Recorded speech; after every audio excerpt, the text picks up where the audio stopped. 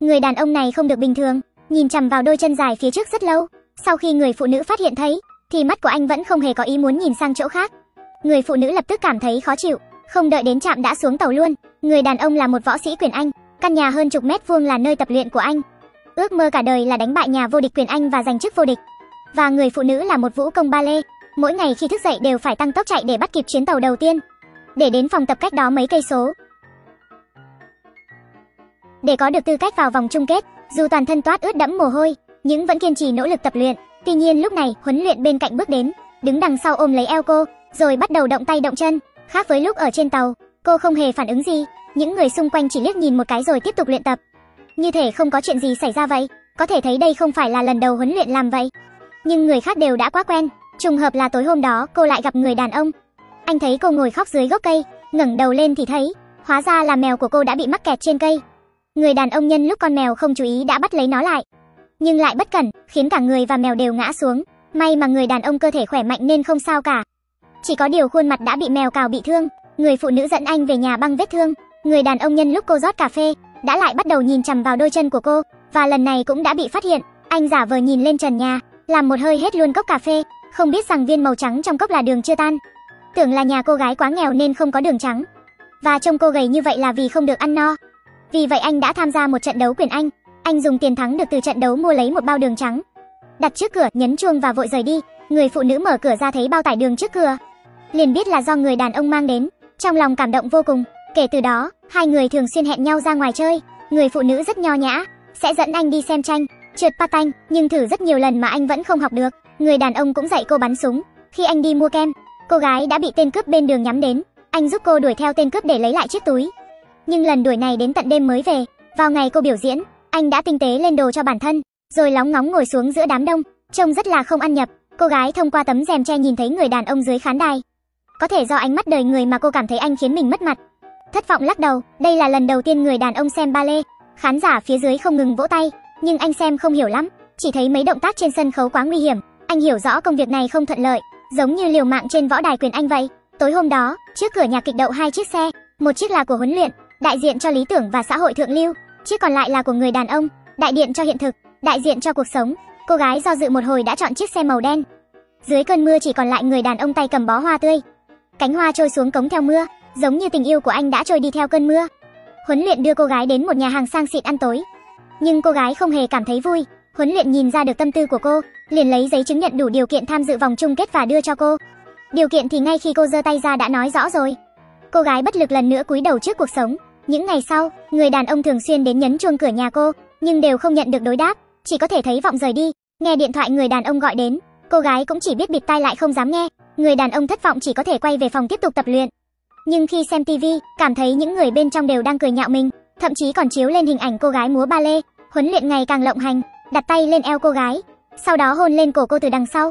Cô gái cuối cùng đã không chịu được nữa, cô nắm tay lại thành nắm đấm, rồi đấm thẳng vào mặt tên huấn luyện, sau đó chạy ra khỏi phòng luyện tập và ném tờ tư cách tham gia chung kết lại cho tên huấn luyện.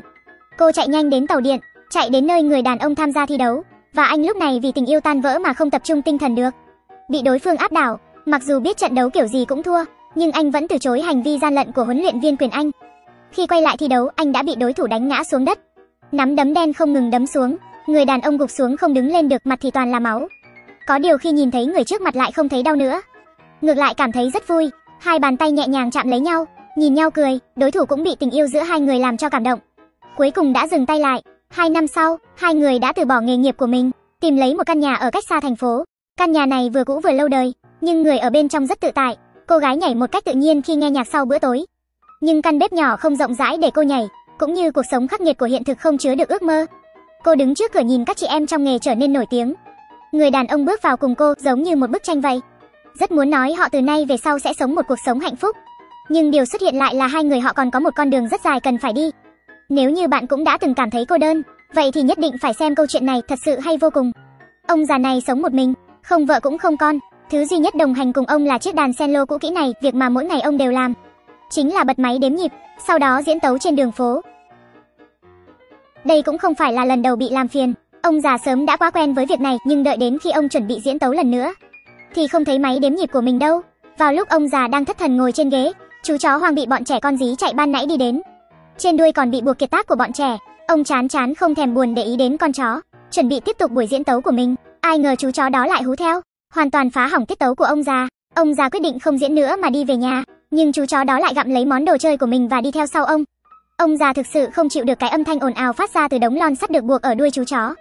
Chỉ còn cách ngồi xuống tháo nó ra, sau đó quay người đi về nhà, nhưng chú chó đó lại cứ bám theo phía sau ông, ông già có đuổi thế nào nó cũng không đi. Chính vào lúc này, ông già nghe thấy tiếng cười giòn tan của bọn trẻ phát từ trong ngõ ra.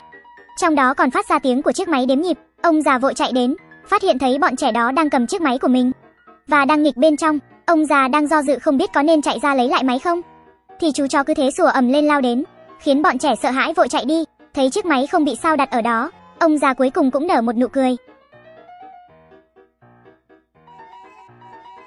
Chiếc máy cứ vậy bị vỡ, ông già cũng biết chú chó không cố ý, vì vậy không nói gì cả.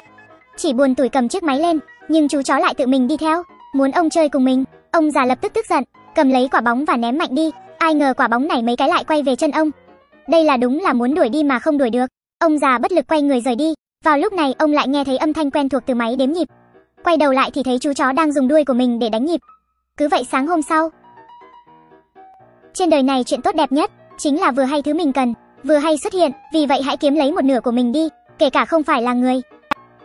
Cô bé này và gia đình chuyển đến một ngôi nhà ma quái, xung quanh ngôi nhà u ám đến rùng rợn.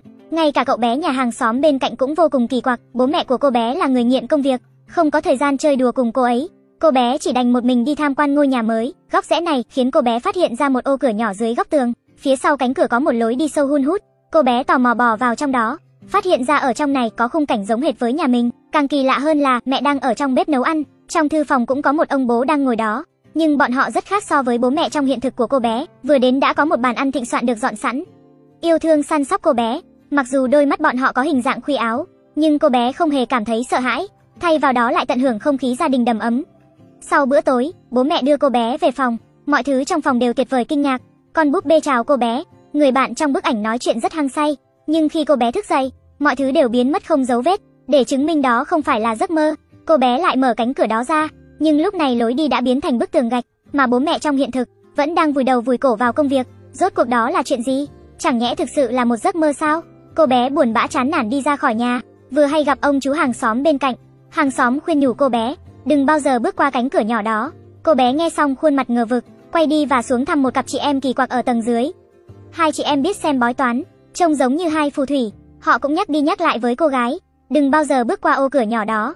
Cô bé nghe tai này lọt tai kia, đứng dậy rời đi, lúc này bên ngoài mù mịt khói, một cậu bé đang đưa một con mèo đen đi dạo.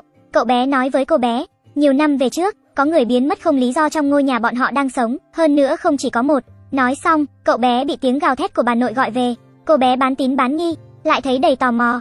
Đến buổi đêm, cô bé lại lần nữa đến thế giới phản chiếu. Bố ở đây đang cưỡi một con cào cào tới hoa, còn đưa cô bé bay lên bầu trời. Nhìn từ trên xuống, diện mạo của vườn hoa không ngờ là khuôn mặt của cô ấy. Sau bữa tối, mẹ đã mang cho cô bé một người bạn mới. Cậu ấy chính là cậu bé nhà bên, nhưng cậu bé này chỉ là một con búp bê, không thể nói gì cả.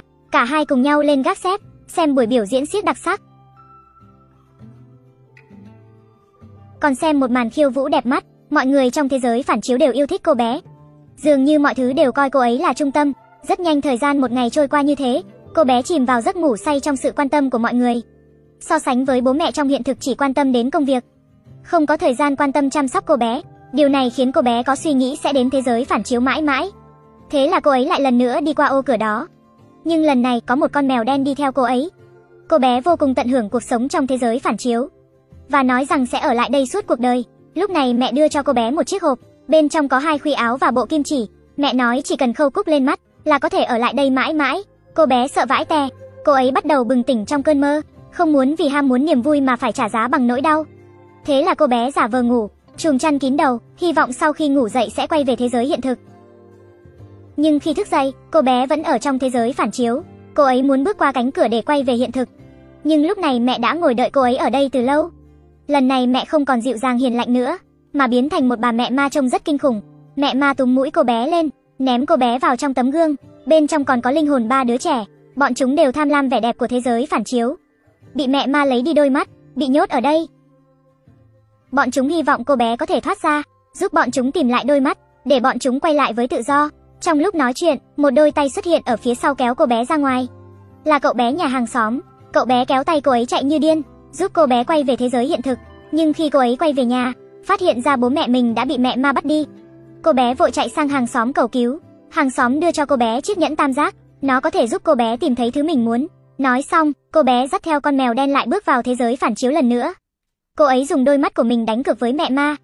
Chỉ cần tìm thấy mắt của đám trẻ con và bố mẹ, mẹ ma sẽ để bọn họ rời đi. Mẹ ma biết rằng cô bé sẽ không thể nào tìm được, thế là giả vờ đồng ý, ai ngờ đâu cô bé dùng chiếc nhẫn đánh bại quái vật. Thành công tìm thấy con mắt, còn nhân cơ hội ném con mèo đen vào mặt mẹ ma.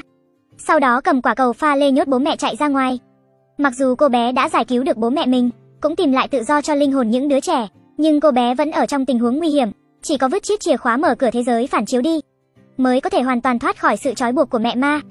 Bỗng nhiên bàn tay của mẹ ma lao đến, túm lấy sợi dây chuyền của cô bé lôi đi, cũng may cậu bé nhà bên kịp thời xuất hiện, cứu cô bé một mạng. Cô bé nhanh chóng buộc chìa khóa vào hòn đá, thả nó xuống giếng, sau đó đóng chặt nắp lại. Lần này nguy hiểm cuối cùng cũng kết thúc. Sau lần trải nghiệm khó quên này, cô bé trở nên cởi mở hơn. Cô bé không còn mong chờ bố mẹ chỉ chăm chăm quan tâm mình, mà bắt đầu chấp nhận mọi thử thách trong cuộc sống.